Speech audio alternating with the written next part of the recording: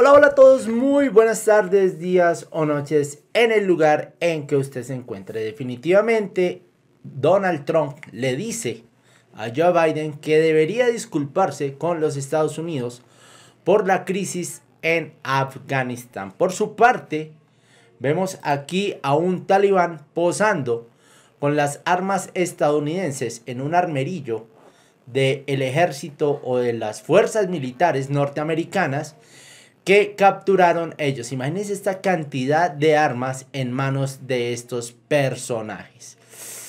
El expresidente Donald Trump pidió el viernes 20 de agosto por la noche a su sucesor que se disculpe por la forma en que está gestionando la retirada de Afganistán.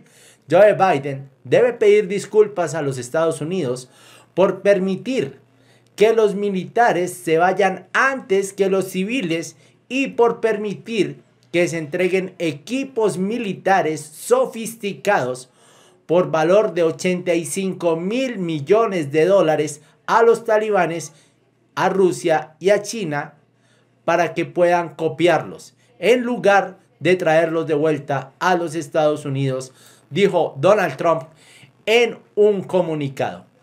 La petición de Donald Trump se produce después de que al parecer los talibanes podrían haberse apoderado de hasta 600 mil armas. No estamos hablando de mil ni dos mil, 600 mil, 600 mil armas estadounidenses tras la toma de Kabul, lo que provocó el rápido colapso del gobierno afgano respaldado por los Estados Unidos.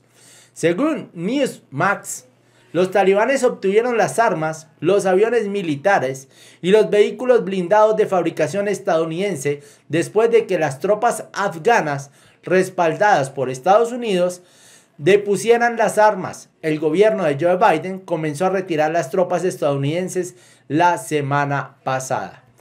En el Senado, 25 senadores republicanos firmaron el miércoles una carta para solicitar a la administración que revele una relación completa del equipo militar estadounidense proporcionado a las Fuerzas Armadas afganas en el último año, la cantidad inhabilitada antes de la retirada de Estados Unidos y las incautaciones de los talibanes. Así las cosas, este señor Joe Biden le va a tener que pedir disculpas a los norteamericanos por haber permitido que los talibanes se armen con tanta tecnología y además por permitir que Rusia y China copien la tecnología armamentista norteamericana que estaba en Afganistán. Nos vemos en el próximo video. Déjame en un comentario qué opinas acerca de esto. Gracias por estar acá. Si no te has suscrito, suscríbete.